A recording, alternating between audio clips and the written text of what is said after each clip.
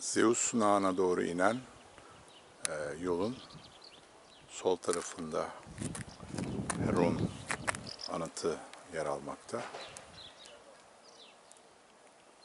Sağ tarafında ise bir dizi dükkan kalıntısı görülüyor.